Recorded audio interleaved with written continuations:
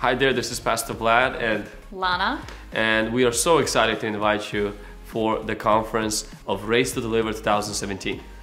And the conference is just around the corner, so we know that people have asking a lot of questions. And most recently and most common questions are, what is the uh, prayer line and how do you get in? Do you have to go through the screening and what is the screening? So a prayer line is every service after John Chi is going to finish preaching. Uh, we will be he will be praying for people, and it's probably going to be limited to about 500 people per service. And so we encourage people to come before the service and uh, get screened means we talk to them, counsel them a little bit, encourage them, and then they get a little wristband and they get admitted to the prayer line.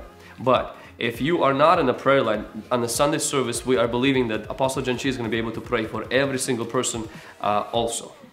And so, what is the admission fee for the conference? Uh, the conference always uh, has always been free in our church. We never charge for a conference. There will be free will offerings on the services, on each service, but there is no uh, fee for the conference. The only thing we do ask is that you register before time. If you don't register before time, you'll be able to register right there in the lobby. And if you register, please register one registration per adult. So don't register like you and your whole church or your whole neighborhood in one registration.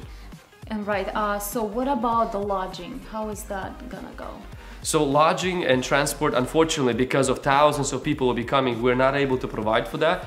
And we live, we leave uh, links on our website under hungrygen.com slash conference where we have negotiated good deals with awesome hotels and some uh, less expensive hotels where if you say hungry generation to them uh, for this conference they will give you a great discount and so we just encourage each one of you to book the hotel ahead of the time because on that weekend it's going to be very difficult to get a place to stay our city is not very large I hope we answered some of the main questions that you guys have. And if you have any other questions, I mean any questions, please email us. We will answer to your questions.